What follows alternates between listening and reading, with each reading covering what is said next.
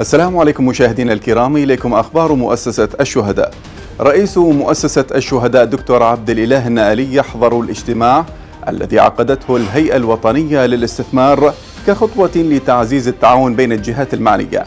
النائلي ناقش خلال الاجتماع مع رئيس الهيئة الوطنية للاستثمار حيدر مكية ملف تخصيص قطع الأراضي للشرائح المضحية ووضع رؤية استثمارية حقيقية للأراضي المخصصة لمؤسسة الشهداء وكيفية ترجمتها إلى مشاريع استثمارية.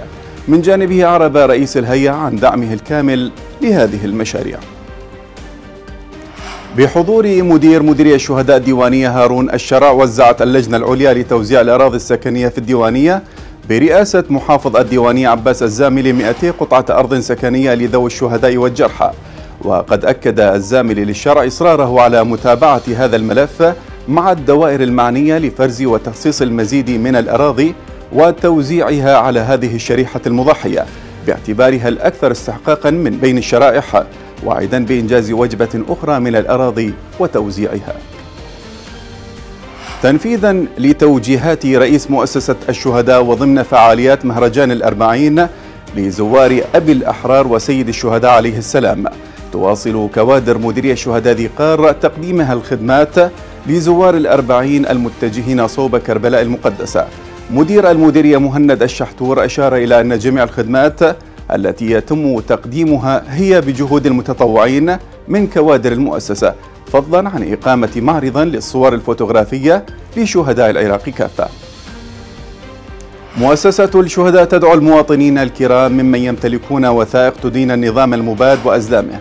مراجعة مؤسسة الشهداء دائرة العلاقات العامة والإعلام وتوثيق جرائم حزب البعث الكائنة في الجادرية مجاور جسر ذو الطابقين لغرض تسليمها للمؤسسة لتكون دلائل واضحة على الجرائم التي ارتكبها في فترة حكمه المظلمة.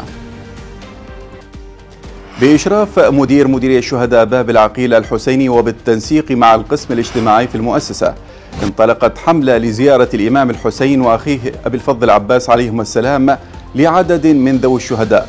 ضمن برنامج نظمته المديرية من جانبها عربت عوائل الشهداء عن امتنانها لما تقدمه المؤسسة من اهتمام وعلى كافة المجالات الاجتماعية والصحية والعلمية واستحصال الحقوق. مشاهدين الأخبار انتهت. شكرا لكم وإلى اللقاء.